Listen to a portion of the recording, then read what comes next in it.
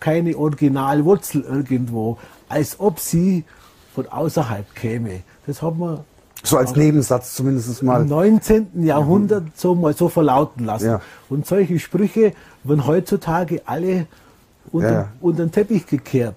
Warum? Es hat natürlich seinen Sinn, warum man das tut. Man muss das schon mal so reden. Weil heutzutage ist ja jeder von uns schon fast in der Lage oder sehr viel zu wissen, was mit der Kosmologie zu, zu tun hat. Unsere Schulbildung ist sehr hoch und man kann also quasi nicht mehr mit diesen komischen Kindermärchen kommen, Ja. wie es zum Teil in der Kirche oder in unseren Kirchen nur dargestellt wird. Da lockt man heutzutage keine mehr hinter den Ofen vor. Und deswegen ist man da ein bisschen sehr still mit diesen alten Sprüchen, wo man vieles noch nicht verstanden hat im 19. Jahrhundert. Aber heute versteht man das. Wobei man dazu sagen muss, das, was du sagst, gilt äh, für das Medium Internet. Es gilt nicht für die Schulwissenschaft und schon gar nicht für das, was man in den Schulen selber lernt. Also insofern, du hast die Möglichkeit heute, die gigantisch sind, aber dank Internet. Aber das wirklich nur Ja, das äh, in, in, äh, in, der, in der Klammer. Wenn du sagst, der Nibiru ist aus dem Gürtel des Orion, ist das ja, ich sage das jetzt mal etwas despektierlich und etwas salopp, ziemlich weit weg. Wie kann oder wie kommt es, dass Nibiru quasi äh, in äh, anderthalb Jahren äh, eine solche dramatische Rolle spielen könnte, wie sie zum Teil diskutiert wird? Also sprich in 2012, 21. Dezember oder wann auch immer, äh, oder Ende 2012, wie, wie kommt man äh, auf die Idee, dass dort wieder jemand sich auf die Reise gemacht habe? Also, wie das zustande kommt, ist es mir auch ein Rätsel. Weil, nochmal zurück, Nibiru hat einen Umlauf um die Sonne von 3600 Jahren. Wir sind in der Lage, oder wir wissen, das sind 3600 Jahre, da gibt es verschiedene Zyklen. Der eine Zyklus ist 43.200 Jahre lang. Man kann das rauf und runter Ja. rechnen. Das Verhältnis bleibt immer das gleiche zueinander. Und wer da immer auf die Idee gekommen ist, oder warum die Maya im Jahr 2012 aufgehört haben mit ihrem Kalender, das bleibt, das weiß, oder das sind nur Vermutungen, Spekulationen, was man anführen kann. Nur zu dem Thema muss ich also sagen, unsere Forschungsarbeit auf Malta mit diesen prähistorischen Anlagen. Und es gibt Gott sei Dank Menschen, das habe ich schon mal angesprochen, die sehr gute Routengänger sind und mit dem Pendel sehr gut umgehen können. Und einer davon, der hat ein Buch darüber geschrieben, das heißt Im Zeitalter des Löwen. Erscheint demnächst im Anschien Mail Verlag und der heißt Walter Brunner. Und er hat sein ganzes Leben nach Datierungen, alten, also alte Steine datiert und so weiter und Bauten datiert und er kann also wirklich sagen, dieses Zeug kommt vor der Flut, dieses Zeug kommt nach der Flut und so weiter und so fort. Aber es gibt einen gewissen Zeitrahmen, den überschreitet er nie. Das heißt, so, das sind so maximal so um die 32 bis 34.000 Jahre. Und das ist das Älteste, was er machen kann. Und das deckt sich in etwa mit dem, was Dagmar und ich rausgefunden haben in Malta und andere Großsteinbauten. Das muss also quasi aus der Zeit kommen von Atlantis. So, aber jetzt ist Atlantis wesentlich früher, wesentlich älter als 32.000 Jahre. Das haben wir festgestellt mit diesen Tempelanlagen. Mit insgesamt 25 jetzt entdeckt, auf Malta allein, in Gozo sind es nochmal 12 und so weiter. Das kann nicht ganz stimmen. Also da ist irgendwas, dass da irgendwas passiert nach 32.000 Jahren und dann beginnt alles wieder von neuem.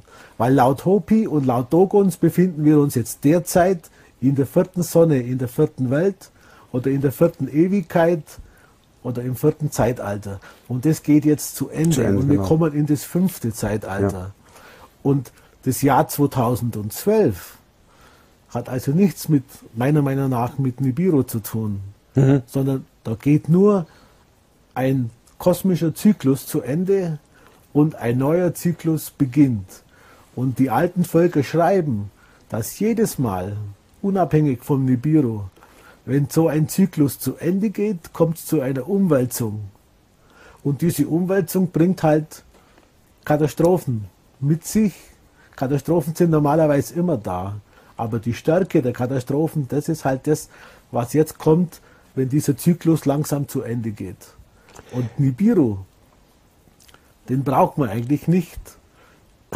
Also meiner Meinung nach, weil, als ich, was ich eingangs schon gesagt habe,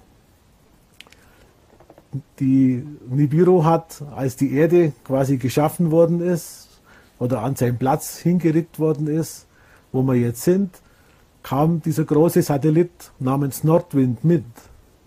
Und als ich gesagt habe, die haben Saturn hat einen Satelliten, einen Mond, hatte, der heute der Pluto ist, an dessen Stelle ist nämlich dieser große Satellit getreten. Also dieser große ja. kugelförmige Stern. Wir nennen ihn Lamhasar 1. Und dann gibt es in unserem Sonnensystem nochmal zwei so Lamhasars. Lamhasar 2 und Lamhasar 3. Lamhasar 2 umkreist den Mond und zwar genauso wie die Erde oder wie der Mond die, die, Erde. Erde, umkreist ja. und wie die Erde die Sonne umkreist. Genauso umkreist dieses Raumschiff den Mond. Und wenn irgendetwas geschieht im Dezember 2012, dann ist es nicht der Nibiru, der das veranstaltet, sondern dann sind es die Niboyaner, die in diesem Lamhasar Nummer 2 den Mond umkreisen. Jetzt mal eine ganz platte oder ganz, ganz banale Frage. Muss ich da, müssen wir da Angst vor haben oder ist das auch eine, äh, im Gegenteil eine Chance oder ein Neubeginn oder äh, eine Katharsis, wie immer du das nennen möchtest? Also Angst brauchen wir vor dem Ganzen nicht zu haben. Im Gegenteil, ich würde sagen, da stimme ich zu, es ist eine Chance für uns, weil es, man, man hört es immer oft oder öfters jetzt, es kommt eine neue Frequenz und so weiter. Es ist aber keine neue Frequenz, sondern es ist die Frequenz, die vorher mal da gewesen ist. Das heißt, wir haben dann die Chance, wenn diese neue Zeitalter eintrifft, dass wir in das Ursprüngliche zurückkommen, was wir einmal gewesen sind. Also ich, für mich persönlich, und ich glaube, das spreche ich auch für meine Dagmar, dass das unser eigentlich die Chance ist, dass wir endlich wieder mal zu diesem zurückfinden, was Liebe bedeutet, was Harmonie bedeutet, wo man sich selbst so lieben kann wie dann seine Nächsten. Das geschieht dann, wenn dieses Zeitalter vorbeigeht. Und wenn, dann tun die da draußen nur unterstützend. Also helfen, Unterstützung und schützen. Dass das so geschehen kann. Ja, ja. Die machen nichts kaputt. Ja. Das ist nur wieder von, ich weiß nicht, das ist halt wahrscheinlich menscheneigentümlich dass man immer alles kaputt machen muss und dass jeder andere es auch tut. Das ist nicht so. Gut, das, das passt natürlich in das Hollywood-Szenario besser rein als, als deine Botschaft, das mhm. ist schon klar. Äh, je mehr Blut und Tränen fließen, desto besser verkaufen sich diese Geschichten. Ja so. Du bist seit vielen Jahren, und das sollten wir zum Schluss nochmal äh, äh, etwas intensiver drauf eingehen, äh, auf Malta tätig. Also eigentlich auf den drei Schwesterinseln. Es ist ja, wir reden immer von Malta, wenn mhm. wir so als Urlaubsland. Ich habe da tauchen gelernt zwischen Malta und Gozo. Äh, und ähm, es ist aber viel wichtiger, als dass es ein sehr schönes Urlaubsland ist, eine tolle Kultur und nette Menschen hat, sondern äh, es hat ja eine ganz, diese drei Inseln haben ja eine ganz andere äh, Bedeutung. Stichwort Kraftwerk.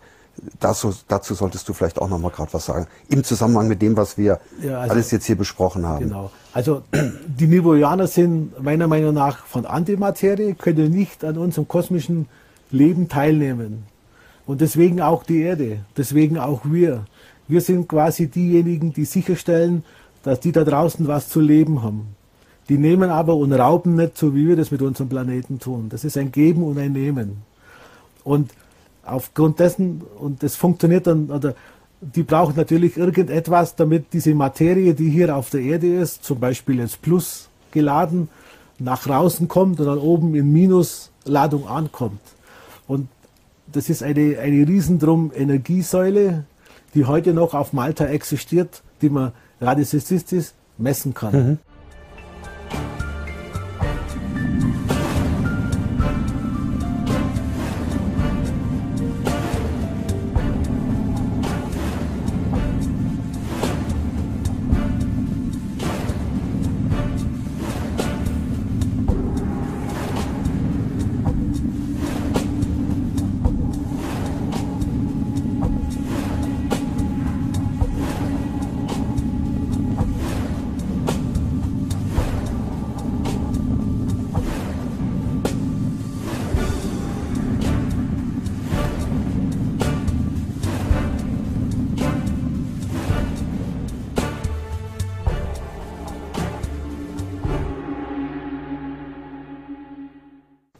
Und diese starken Strahlungen, die da immer noch hier sind, also bis zu 420.000 Bovis können da gemessen werden, die haben natürlich Einfluss auf unser persönliches Wohlbefinden.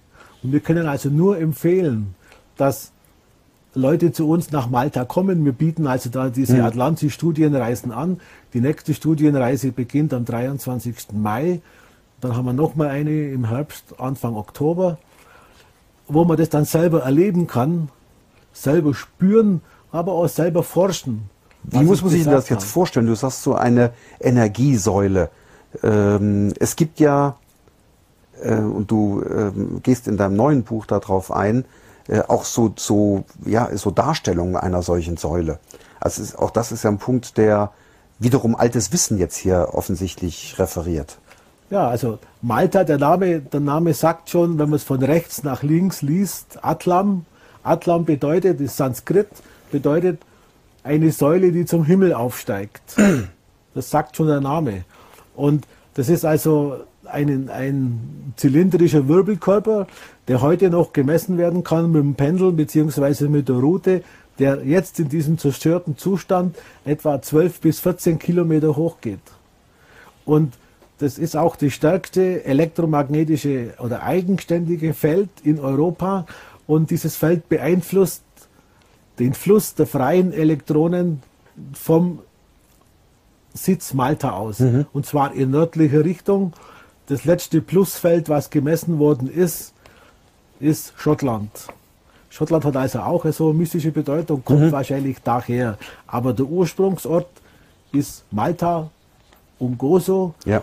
Und das wäre sicherlich, also von unserer Meinung nach, dass man dann, wenn man das mitnimmt, was man da unten erfährt, dass das für diese, Kunft, für diese künftige Zeit, die kommt und dann hinterher präpariert ist und richtig, richtig geladen wird und diese ganze Sache dann viel leichter nehmen kann. Du sagst geben und nehmen. Äh, eine Energiesäule, die von den drei Schwesterinseln Malta, äh, Gose und Comino äh, nach oben geht, sage ich mal etwas, etwas platt. Ähm, was ist das, das Geben äh, von der anderen Seite? Oder was ist das Nehmen aus der irdischen Sicht? Also das Geben ist, was man quasi, das müsste man normalerweise noch herausfinden, was man darunter genau zu verstehen hat. Aber das Nehmen, was wir von denen nehmen, ist, wenn diese Frequenz wieder stimmt auf der Erde, und das wird was sehr wahrscheinlich mhm. geschehen zum Dezember 2012, vielleicht aber schon heuer zum Dezember, das weiß man eben nicht, weil wir nicht wissen, wann die Zeit begonnen hat. Aber das Nehmen ist das, dass wir wieder zu uns selber finden. Also von unserem, was unser physikalischer Körper und